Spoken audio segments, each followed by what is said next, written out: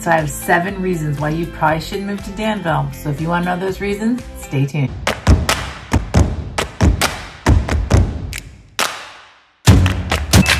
It's Rachel Capil here with Keller Williams in the San Francisco Bay Area. If you want to know more things about the San Francisco Bay and what it's like playing, living, working in the San Francisco Bay, we got you covered. So click that subscribe button down below and make sure you tap that little bell, give it a thumbs up so you get notified every single time we have a new video, which comes out each week. We are getting so many calls and emails about people wanting to know about relocating and moving and buying in the San Francisco Bay Area. We absolutely love it. So if you want to know more, you got to shoot us an email, a text, DM, PM, whatever you feel comfortable with covered when moving to the San Francisco Bay Area. All right, so today we're talking about the seven things that you probably need to know that are complaints before moving to Danville, California. I'm a California native. I've lived here, so I know all about it, so you're gonna wanna stay tuned. All right, so complaint number one, it's so expensive. yes, it is expensive, but in comparison to San Francisco, it's like super cheap. To live here, you're gonna have to have, you know, some income that'll afford you a median home price of a million forty-three. So that's the average price of a median home in Danville, a million forty-three. So you're gonna have to have a salary of about median household states on niche.com. It's about 153K a year. It's expensive, yeah, but you know what? There's so many reasons why it's expensive to live here. And if you can afford it, there's an awesome video above here that tells you all the pros and cons about why Danville is so great. Okay, con number two, I hear it all the time, and I feel like usually it's from people from San Francisco. They're always saying, it's so hot there. Oh my gosh, how do you guys deal with it? It's so hot. I mean, yeah, it, it, it's hot, it's warm. In the summer times, you're looking at 90 degrees, sometimes upwards of 100 something, you know, but as you get away from San Francisco, it gets hotter and hotter because you're going more inland. If you're in San Francisco, you're looking at like, you know, there's maybe a, a week of hot days there. We'll have a heat wave here and there, but like, I don't see people in San Francisco swimming around in a pool, you know? We can swim in a pool and have fun and go do water activities out here. In San Francisco, you're just not gonna, you're not gonna do a ton of water activities. You might go to the beach, but at the beach, trust me, I go to the beach all the time in San Francisco, you're wearing a sweatshirt. There are very few days in San Francisco you're at the beach without a sweatshirt. So just know in Danville, it gets hot here. It's gonna be warmer out here but you got the pool, so you're all good. Okay, number three, in conjunction with the hot weather, you have the blooms and the trees and the forest. And thank you, Trump. We're gonna work on that forest, raking up those leaves. number three, you're gonna have allergies, okay? It is what it is. More blooms, more pollen, more things that go up your nose, more sneezing. It's all good though because we've got drugs. We've got drugs that can help you with it. Claritin, I mean, I grew up in San Ramon and literally, I think I started Claritin when I was, or Chlor-Trimeton, I think it was Chlor-Trimeton, by like 12. You know what I mean? Like, and I turned out okay. I'm not dying of anything, knock on wood. But at the end of the day, you've got drugs to help the allergies. It's really not that big a deal. And there are plenty of people that have allergies in cold climates. So something to consider because of the hot weather and the blooms and all the fresh, you know, flowers you're gonna get allergies. I mean, you're not gonna have them year round. They're gonna be more prevalent in the springtime, but it's something to think about, you know?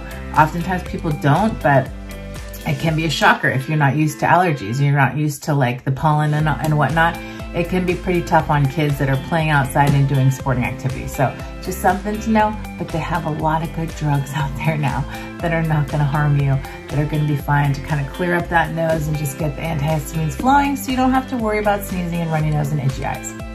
Point number four, as mentioned in other videos, pros and cons videos about Danville, we do not have a BART station here. So if you are commuting to work, uh, it's gonna be a challenge because you're gonna have to drive up 680, which is the main highway to uh, catch BART in Walnut Creek. Now, if you don't know what BART is, BART is the rail system that people use to get into the different cities like um, San Francisco, Berkeley, Oakland, Emeryville, um, which is usually where people are going to be working if they're living in Danville, if they're not working remotely or if they're not flying, you know, like a CEO flies to different meetings in uh, different cities. So this is a bummer too because, um, you know, BART is really handy, especially in commute times. But I think, like I said, the landscape is changing because of COVID. So you might be able to be working from home and enjoying that pool and the backyard and the fresh blooms for your allergies. So um, you might not have to worry about BART too much. So this could be a con or a pro, who knows? I mean, it's up to you. We'll see how the landscape plays out with this COVID-19 disease and um, maybe it'll be beneficial. But the good thing is, is it's a small community and there's not a ton of really, really great public transportation. Walkability isn't that great. So it's a, it's a nice little town for you. Um, and you don't have a ton of traffic unless you're dropping the kiddos off at school. But now kids aren't in school, so you don't even have that. It's actually really nice. So con number four is there's no BART station. All right, con number five, it is a small town vibe. So you're not gonna get bars staying up until 2 a.m. in the morning here. You're gonna have less hustle and bustle, more calm, commuting, driving around in your car, on your bike. You know, it's gonna be a slower pace of life. You're gonna have that small town vibe where people are gonna actually help each other. They're gonna know you. They're gonna know Johnny and Billy and Jake, Cindy. Gonna know everyone. So it's a smaller vibe, you know, it's close knit. It's just a different vibe. So if that's not your jam, you like the hustle and bustle of the city, you're gonna have to go elsewhere because this will not be the town for you. But that's so what's so great about it is that you've got neighboring cities that are a lot bigger like Walnut Creek, um, Oakland, San Francisco, Rockridge, all those cool towns um, that are much bigger. Con number six is there is a lack of diversity here. So niche.com gives it a B, which is not great on diversity. It's still diverse, but it's just not an A. If you want diversity, you're gonna have to go to other cities like San Francisco, Oakland, Berkeley. They're gonna have all kinds of cool, really cool stuff. But they're so close, you could just hop over and check it out. Like you could live in Danville if you want, and you want to have the culture and the nightlife of, you know, tons of diversity where you can teach your kiddos all about all the different areas of the world. You can get that stuff easily um, in neighboring cities. So Danville itself is a small town, doesn't have a ton of diversity, but there is some. Not It's not exempt of it, which is fantastic because we love diversity here in California. So it's just something to take into consideration if that is what you're looking for. So number six,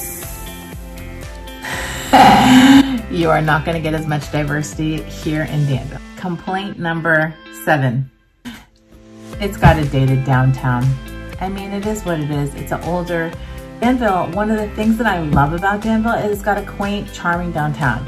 It is not going to be the W Hotel in downtown San Francisco. Actually, I don't even know if the W is doing very well in San Francisco, but I've always loved it there, so I haven't been there in a while, but Danville is not gonna be the modern glam luxury building. It's gonna be the cute, quaint downtown that you're gonna have the mom and pop stores, you know, you're not gonna have the chains, you know, you're gonna have a cute little dog shop that you're gonna get such cute, like super thought out and thoughtful, adorable gifts. You know, you're gonna have restaurants that are like mom and pop. They're not chains like Chipotle.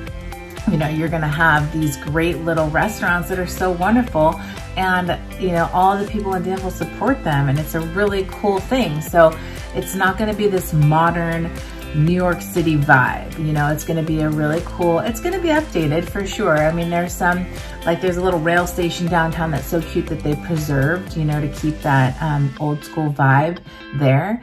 But I mean, if you're looking for like, uh, you know, cool, modern, sleek, you know, updated city, downtown cityscape, it's just not, you're not getting it here.